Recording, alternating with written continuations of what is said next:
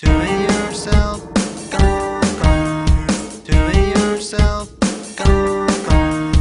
Do it yourself. Go, go. It's the one-stop shop for installing parts.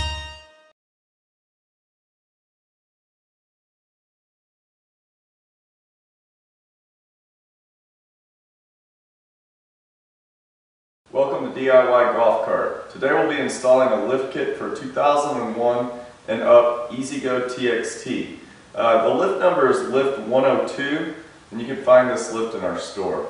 We'll start with the first step. Alright, before doing anything with putting the lift on, what you'll need to do first is take your tow maintenance switch out of the run position and put it into the tow maintenance position. You'll be able to flip that switch back into the run position when you've installed the lift kit completely on your cart. Alright, before jacking the golf cart up, we first want to apply the parking brake to make sure it doesn't move during the install process. We'll walk right over here to the front, grab a jack, and jack it up. We need to jack it up enough to accommodate for the larger tires. So I would say about maybe a foot off the ground. We're going to be as precautious as possible by installing some jack stands underneath the frame of the cart just in case the front jack fails. First, we're going to remove the wheel covers off the 8 inch wheels. Now, we can take just a flathead screwdriver, pry it behind the wheel cover, and kind of twist, and the cover will pop off like so. Once we've done this, we'll grab a 3 quarter inch socket. Like I said, you can either use air tools or hand tools. We just choose to use air, it goes by a little quicker.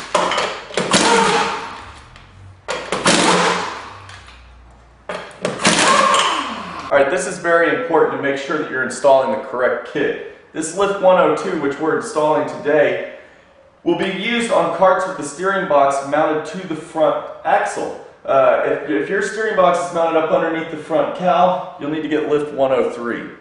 All right, our next step, we're gonna have to remove the uh, tie rod from the spindle itself.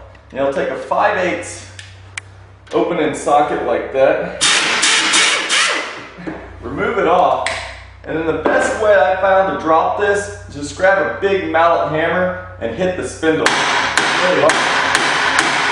And it just drops right off. Alright, once we remove the tie rod from the driver's side, let's do the same to the passenger side. The reason we're showing you these steps is this not only has the tie rod connected to it, but this spindle also has the steering box.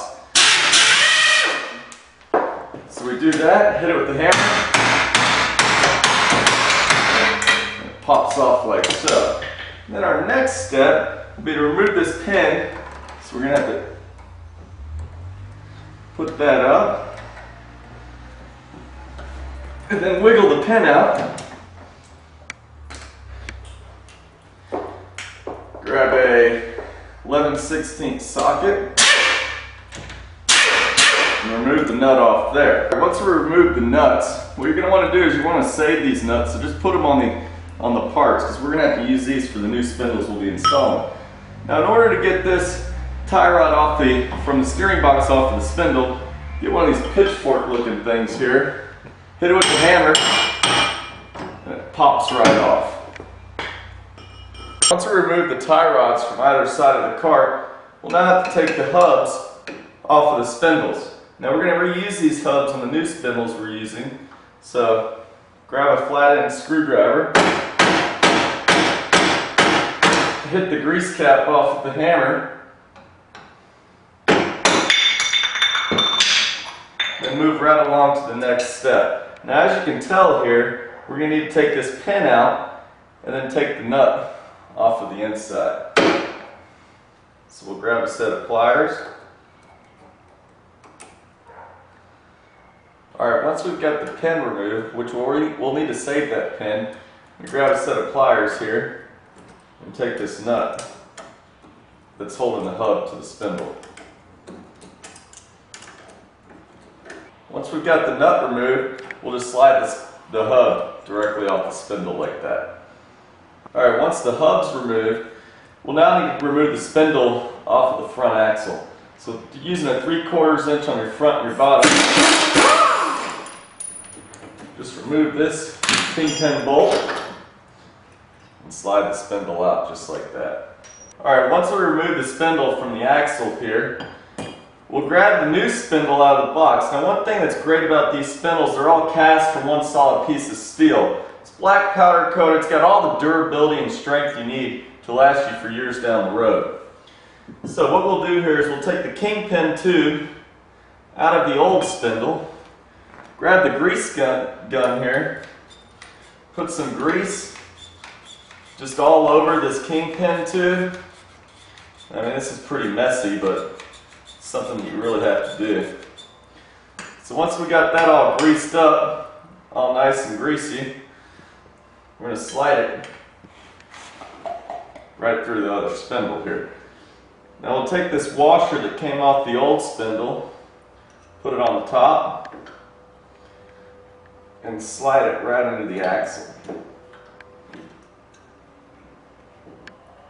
And then grab our kingpin bolt, throw it straight through just like that.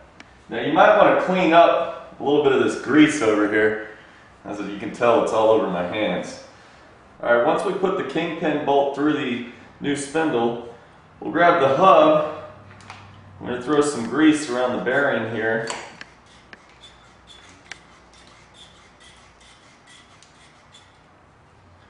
Drop it back down into the hub. And also put a little bit of grease around there as well. Then we'll slide the new hub on the spindle. Grab the nut. Put it on there like so. And tighten it down with a set of pliers. Then grab the pin. You got to kind of locate the hole where the nut is put the pin in, tap it into place with the hammer. Alright, once we got that pin into place like that, grab the cover, grab a rubber mallet hammer. You don't want to ding this cover too much. Knock it back into place. Now you're going to want to do the same thing to the other side. We're not going to show it to you in the video. But do that to the other side, and then we'll go and put, it, put the tires on. All right, once we've got the cap on here, we're gonna locate the tie rod that goes to the other side. We're gonna put it directly through the hole here. Put the nut on top. For now, we're just gonna leave that loose we'll tighten it up once we get the other side on. Alright, now we need to install the tie rods and the steering tie rod to the spindle on the passenger side of the cart. So we'll place these in like so. Put them down. Put the nut on the bottom. And run our pin through. We can tighten everything into place and then we'll move on to put in tires on. So this.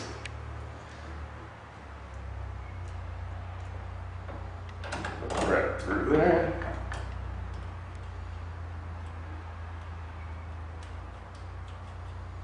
Tighten everything down, this nut, this nut, and then the bolt that's holding the kingpin here for the spindle.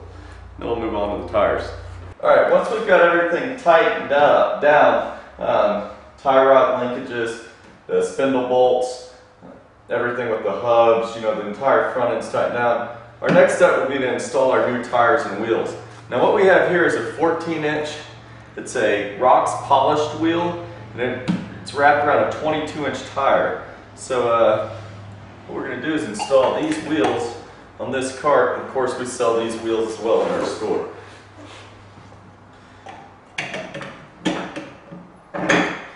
All of our tire and wheel combinations come pre-mounted so they're delivered to your door.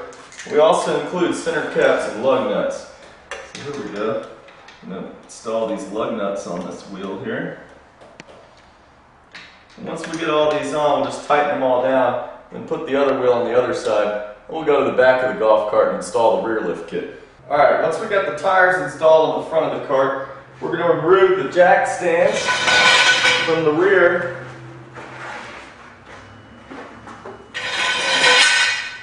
Cart down And then take a look at it from the front because these tires, when you're putting these spindles on, will sometimes change the alignment of the front end. So if that does happen, what you need to do is drop the tie rod in that goes from one spindle to the other one and loosen it up or tighten it to, uh, to you know, play with the front wheels. Once we've installed the tires on the front of the cart, we're going to need to hold the cart in position while we put the lift kit on the rear. So we've kind of put a piece of wood here underneath the front tire, then of course the other tire is being blocked by the wall. So now we're going to walk around here to our jack and start jacking it up right at the bumper. Alright, once we've got it jacked up all the way, we're going to grab our jack stands we're going to place them underneath the axle tube on either side of the axle. Alright, once we've got the cart secure there, got the jack stands underneath the axle tube, we're going to need to take off the tires on both sides of the, of the rear end. So what we'll do is grab that same flathead screwdriver we had earlier, kind of mash it in between the wheel and the hubcap, grab a 3 quarters inch socket, take the wheel right off. Alright, our next step, we're going to need to remove the clevis pin that's holding the brake cable to the backing of the rear drum. So we'll just take some pliers like this.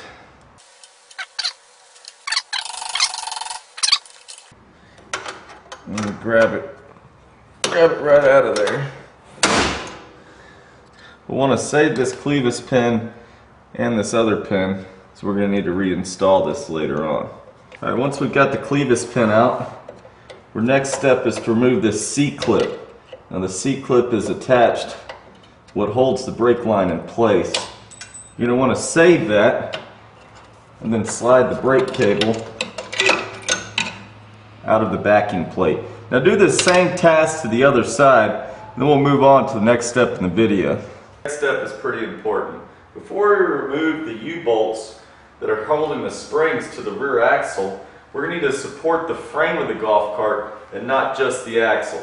We've already got the supports for the uh, for the axle down there. And now we're just going to grab a piece of wood, put it right up underneath the bumper like so. And just support it. We don't need to jack it up, we're just supporting the frame.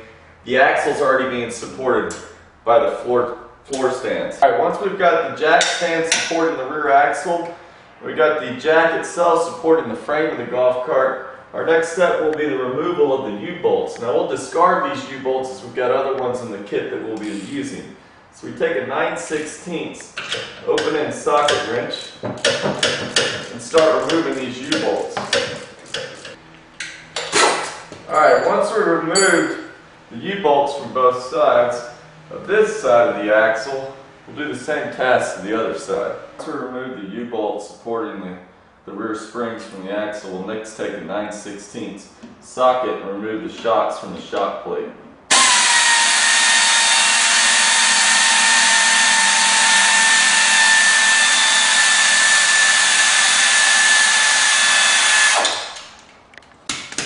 You'll want to pull the shock just like so and save the hardware and the easiest way to do that is just to put it back on it.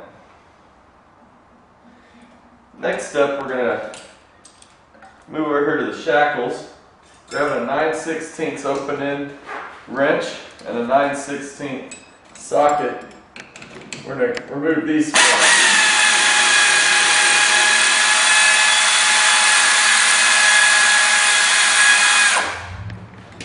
There's a nut from there, like so, which drops the rear spring. And we're going to do the same to the back side here.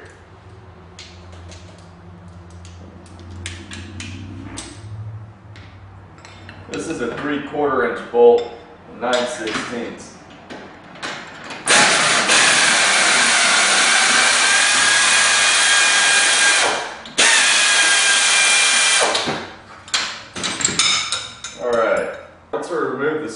from either side of the cart. Our next step is going to be to jack it up to accommodate the new lift brackets. So we're going to raise this cart up, I'd say about five or six inches. Alright, once we got the body of the cart high enough and the rear axle low enough, we'll take our rear spring, we're going to set it over the axle. What we need to do is we need to put this front bolt back in.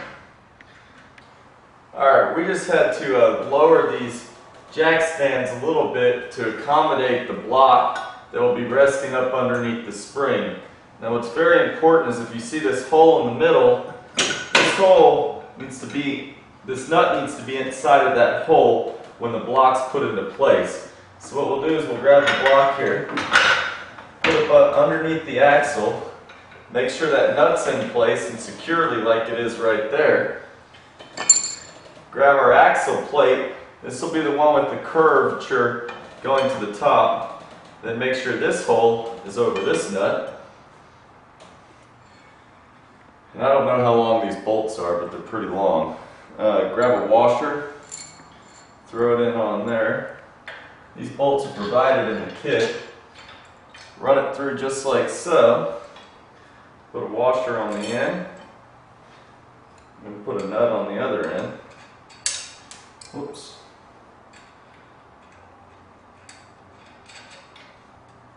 And do the same test with the other bolts. Alright, now once we got all these bolts here nice and hand tightened, we're going to remove the shock and the bushing. Put the shock back down in the hole, the new shock plate.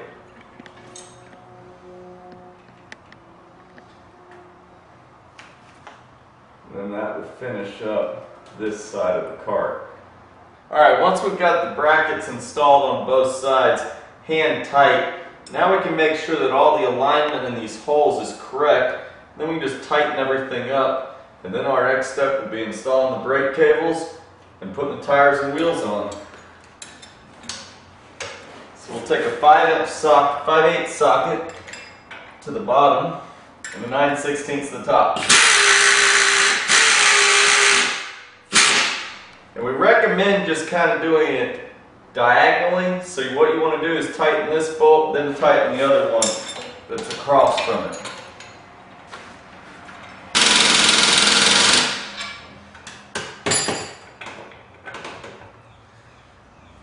Alright, once we got four of these bolts tightened up, our next step will just be to tighten up the shock bolt.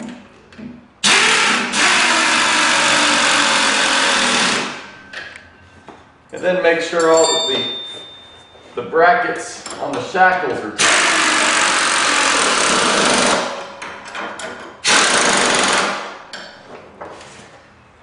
Alright, that about does it for that step. Alright, and the next step, what we're going to need to do is lift up the seat bottom and uh, locate this zip tie here that's attached to the brake cable.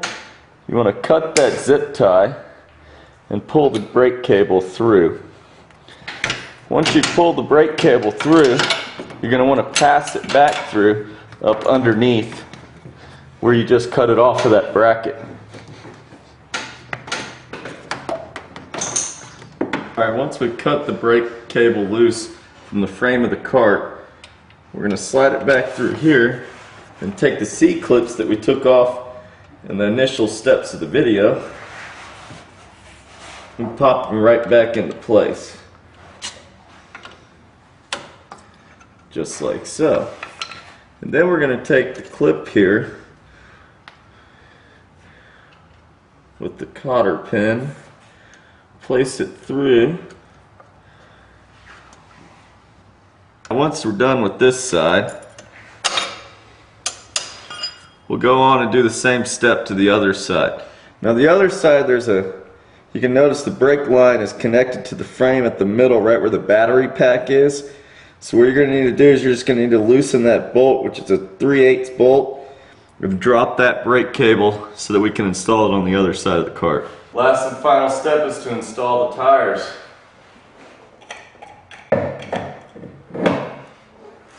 Put those on there like so. Do this on both sides. And then we'll be ready to enjoy the new look and new feel of our EZGO TXT golf cart.